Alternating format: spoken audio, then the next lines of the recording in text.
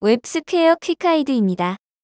GridView의 advanced Excel download 함수에 대해 알아보겠습니다. advanced Excel download 함수를 사용하면 브라우저에 표시된 GridView를 엑셀 파일로 다운로드할 수 있습니다.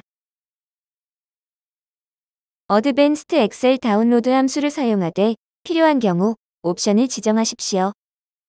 사용 예입니다. 옵션을 지정하지 않을 경우 빈 객체를 넣으십시오. 옵션을 지정할 수도 있습니다. 본 예제는 다운로드하는 파일명과 엑셀 파일의 header 색상을 지정하고 있습니다. 예제를 통해 확인해 보겠습니다. GridView입니다. 브라우저에서의 모습입니다.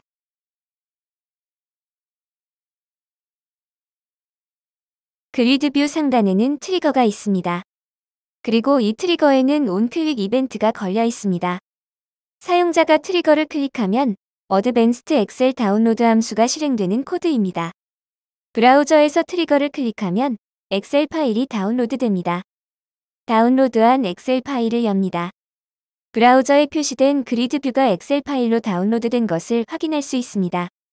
스튜디오로 돌아와 advanced Excel download 함수의 옵션을 지정해 보겠습니다. 본 예제는 다운로드하는 파일 이름과 엑셀 파일의 header 색상을 지정합니다. 옵션에 대한 좀 더 자세한 설명은 W-Tech에서 확인할 수 있습니다. API 가이드 메뉴에서 웹스퀘어 버전을 선택한 후 엔진 버전을 선택하십시오. 그리고 좌측의 component 목록에서 GridView를 선택한 후 advanced Excel download 함수를 선택하면 자세한 설명을 확인할 수 있습니다. 다운로드하는 파일과 다운로드 요청에 관련된 옵션 다운로드하는 데이터와 엑셀 파일과 관련된 옵션, 그리고 엑셀 파일의 스타일과 관련된 옵션들을 세부적으로 설정할 수 있습니다. 스튜디오로 돌아갑니다. 앞에서 추가한 옵션 설정을 저장합니다. 화면을 다시 로딩합니다. 트리거를 클릭합니다. 옵션에 정의한 이름으로 엑셀 파일이 다운로드됩니다.